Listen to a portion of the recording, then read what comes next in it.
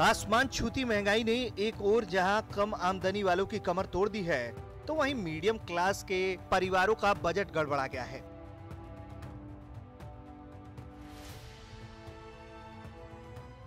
पिछले कई महीनों से लगातार रोज़मर्रा में इस्तेमाल होने वाली चीज़ों का दाम ऐसा बढ़ा है कि गरीबों के निवालों पर भी आफत आ गई है।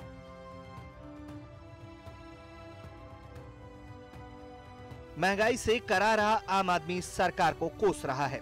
हालाँकि इससे अलग वाराणसी से एक दिलचस्प वाक्य सामने आया है।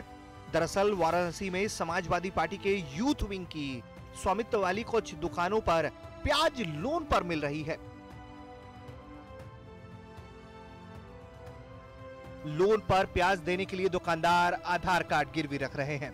देश भर में प्याज के दामों में बढ़ोतरी के बाद वाराणसी में कुछ दुकानदारों ने यह तय किया है कि समाजवादी पार्टी के एक कार्यकर्ता का कहना है कि ये प्याज की बढ़ती कीमतों के खिलाफ हमारा अविरोध प्रदर्शन है। हम लोगों का आधार कार्ड गिरवी या चांदी के गहने गिरवी रख रहे हैं, जिसके बाद प्याज बेच रहे हैं। कुछ जगहों पर प्याज को लॉकर में भी रखा जा रहा है। आपको बता दें कि बीते कई महीनों से प्याज के दाम में काफ़ी तेज़ी आई है और प्याज की कीमत सौ रुपए प्रति किलोग्राम से ऊपर चली गई है। हैरान करने वाली बात यह है कि प्याज का दाम इतना बढ़ गया कि यहाँ सेब से भी ये महँगा बिक रहा है। कुछ सप्ताह पहले तक सेब जहाँ 80 से 100 रुपए तक बिक रहा था, अब वो 50 रुपए प्रति किलो बिक रहा है।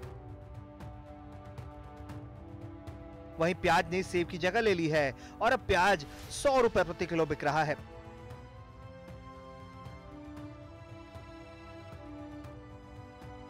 अप्रैल, मई में 20 से 25 रुपए तक बिकने वाला प्याज दिसंबर में 100 रुपए किलो तक पहुँच गया।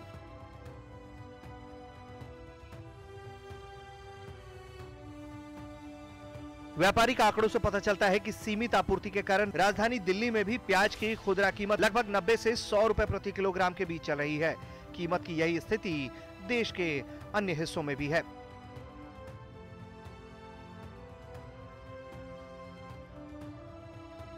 ब्यूरो रिपोर्ट, यूपी तक। इस समय प्याज स्थिति ये हो गई कि सौ रुपये किलो प्याज हो गई। इतनी महँगाई किसी सरकार में नहीं थी, जो महँगाई सरकार में है। इसी प्याज पे सरकार, अगला जब जब ये सरकार आता है, तब तक खाने से लेकर सारे सामान महँगे हो जाते हैं।